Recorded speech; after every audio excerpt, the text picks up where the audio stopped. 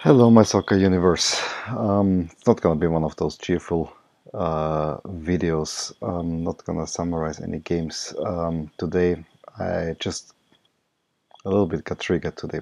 Today, Liverpool played Chelsea, and Liverpool won 2 0. Gonna talk. Um, I'll talk tomorrow in the morning about it in the car.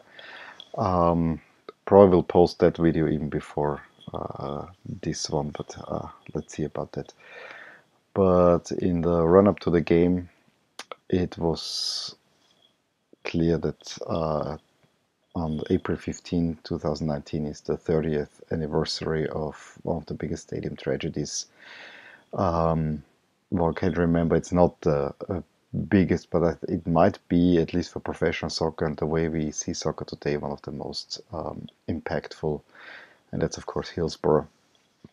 And just wanted to share a few personal recollections because um, when I started getting in, into soccer, that was right after the 1990 World Cup, and you know this didn't exist. I re- faintly remember that there was mention of the Hillsborough disaster uh, in some news, but you know I was little. I didn't really um, remember that. Uh, during the World Cup, I quickly learned, yeah, English fans are uh, bad.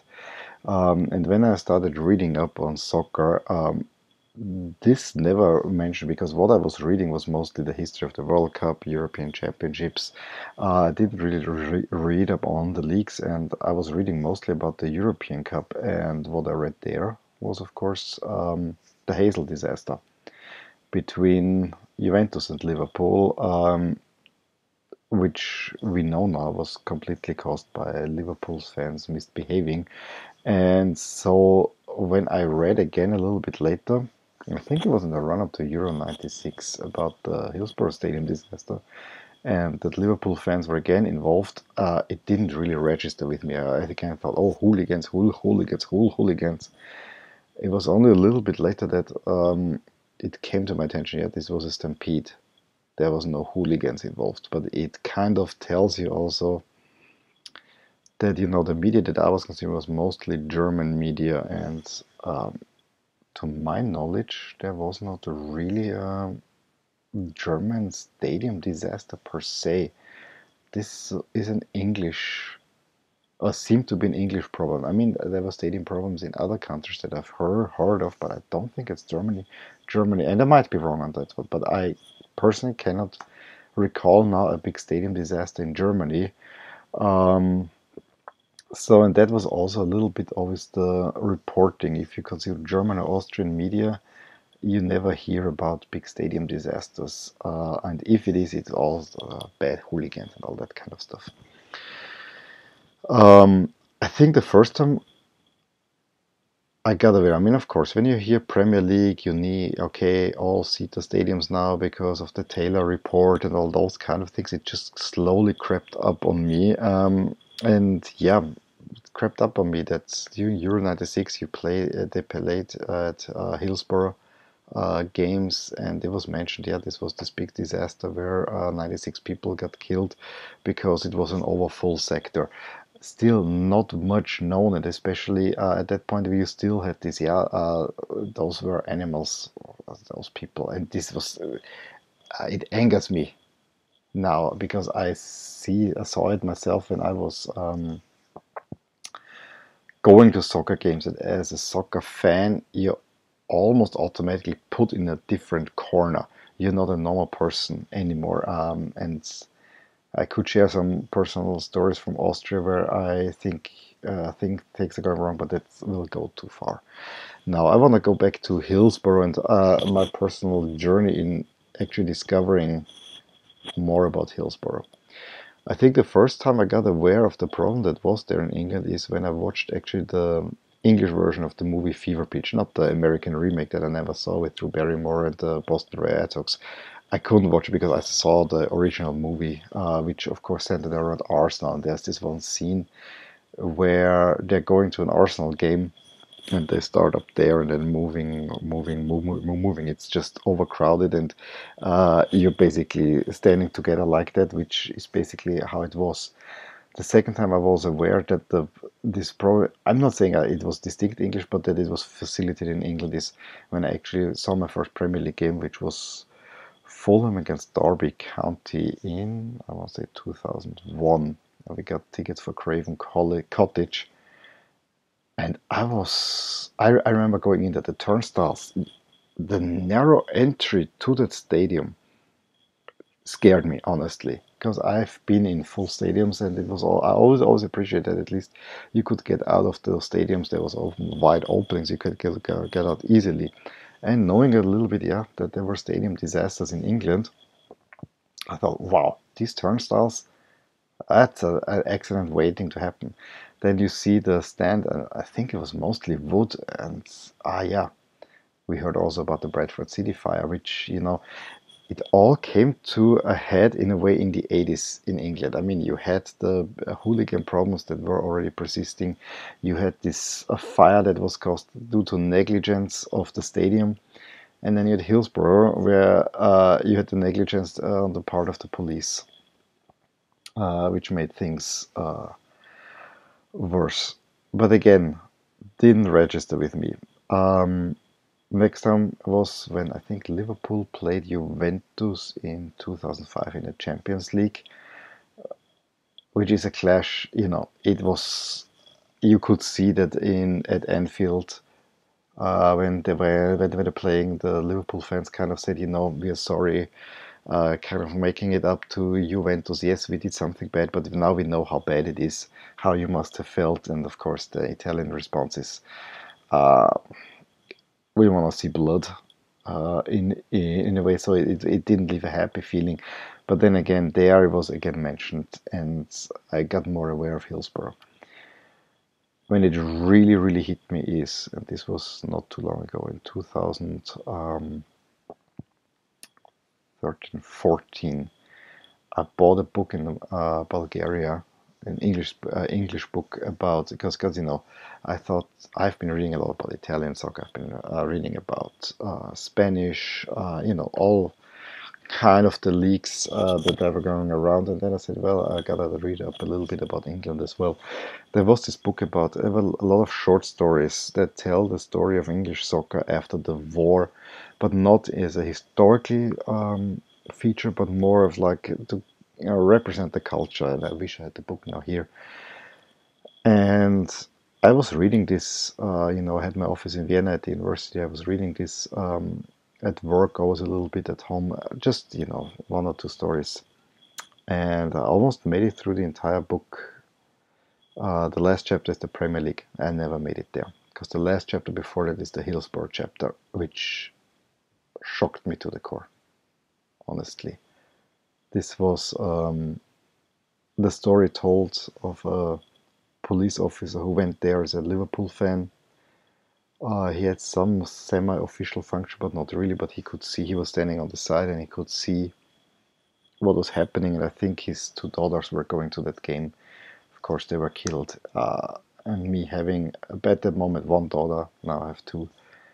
Uh, I'm not sure if I, uh, I would be in that situation, but it hit me hard and then I watched I found it on YouTube and maybe I find it again and I'll link up there. I, I absolutely great ESPN 30 for 30 documentary called Hillsborough it's a two hour documentary.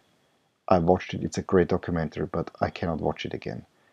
You see dead people in that one. You see the crush um, yeah, those are pictures that still haunt me now. They haunt me again. Um, but it tells the entire story of Hillsborough and what a disaster that was. And I actually feel you feel with the people that were affected by that. Uh, I'm tearing up even a little bit now. Um, you know, it changed my perspective on Liverpool as a club as well because this is a big scar. Yes, they caused trouble. Uh, the Heysel disaster is entirely on Liverpool fans. But Liverpool was not the only team. I think actually Chelsea that they played today, uh, today, today was one of the worst uh, teams in terms of hooliganism. But that's beside the point. Uh, what that documentary clearly showed is the attitude of the police towards the fans, the ineptitude of the police handling this, the long search for justice, which I don't think is still uh, done. Uh, yes, they have. It has been now officially um, acknowledged that this was a failure of the police, uh, but this doesn't bring back the people, and uh, the punishments spoken. They are still not enough. I think there's still injustice there, and that Liverpool is basically lifting itself, uh, uh, hanging on those. I mean, that community is still hanging on there. Then also the despicable nature of the Sun. I think it was the Sun. It was it Daily Mirror? Um, let me check that. Yes, it was the Sun. Um, I remembered correctly. Uh, with them telling the truth and blaming the fans, and it was still, I know it was because of the Heysel fact and the entire attitude football, like how soccer was a working man's game, and there was still this class thing. those are the animals from below there, and that's how the fans were treated actually. we have come a long way since then. Uh, although I have to say that um, re recent experiences in Austria, or even when I was, you know, in the 90s, uh, traveling fan 90s, early 2000s, I can easily see shit happening here as well because um, while things are a lot more secure, this attitude, especially among the police, exists. And I can tell you that when I was traveling away, I was always happy that the LASK fan club had their own police unit. They usually have two or three policemen uh, that were kind of fan coordinators from a really elite unit, they were always there to actually make the contact with the local authorities over there. So um, that was always a factor that made me feel safer. I'm not sure how big it was, but I think that uh, it was a contributing factor to that things were a little bit better. Um, but yeah, in that documentary, became pretty clear that the police absolutely mishandled that one and that people were treated like animals. Um, even to the fact that when it was clear that there were, four, I think, 4,000 in a sector where there should be only 2,000, they're not even opening gates or doing anything. Uh, the game went on. Uh, unbelievable. And then there's one uh, emergency car. Uh, it's an absolute, absolute, absolute disaster what happened there. And I mean, I don't need to tell you how big of a disaster it was. It's clear that this was an absolutely uh, horrid tragedy. Um, again, it was 25 years later after the fact that I watched this documentary and it absolutely hit me. I still, I cannot forget those pictures.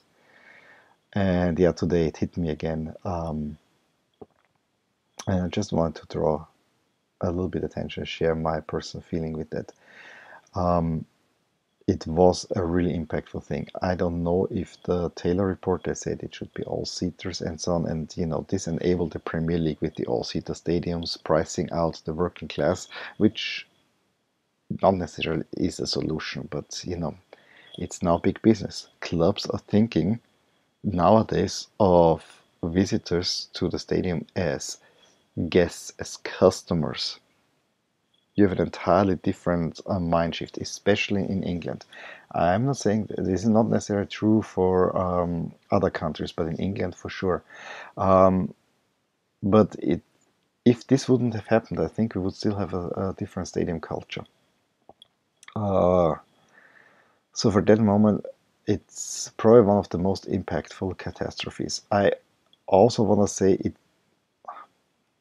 I never want to say it was a good thing, but um, the good thing is that it happened in England, which is seen as a civilized country where the discussion got started. Um, I would like to see a similar discussion happening right now in Italy, where if you look at their stadiums, they just don't look good. I think a lot of stuff need to happen in Italy there because Italy has problems.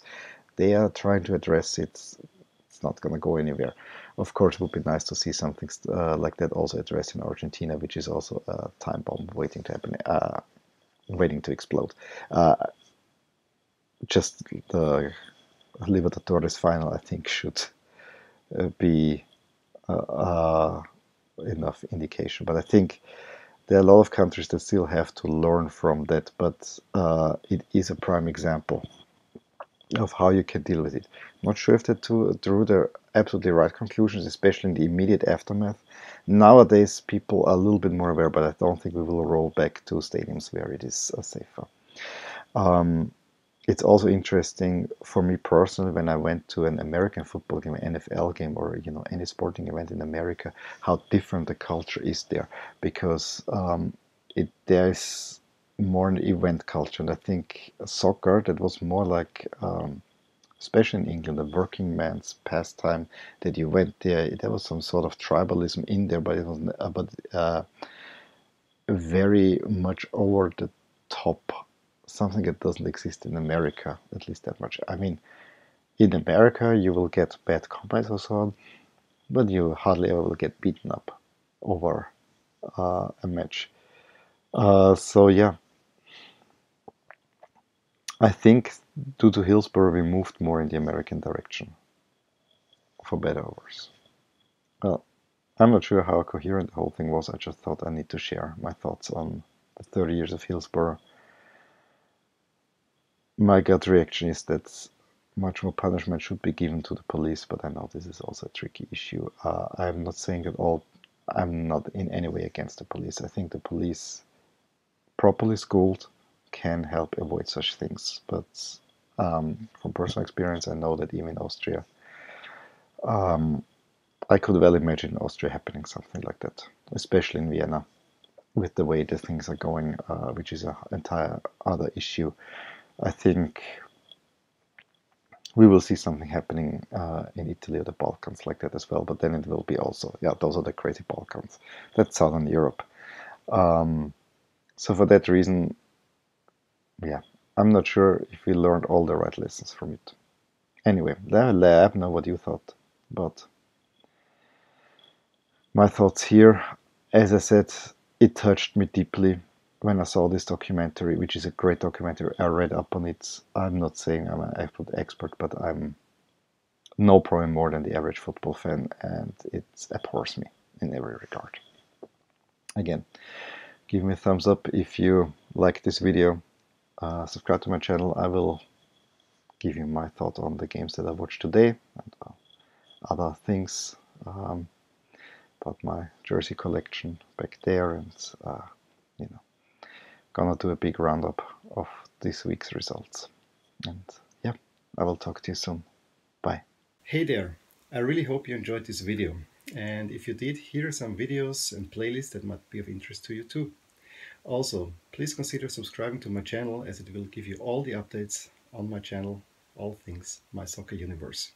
And with that, I want to wish you a wonderful day.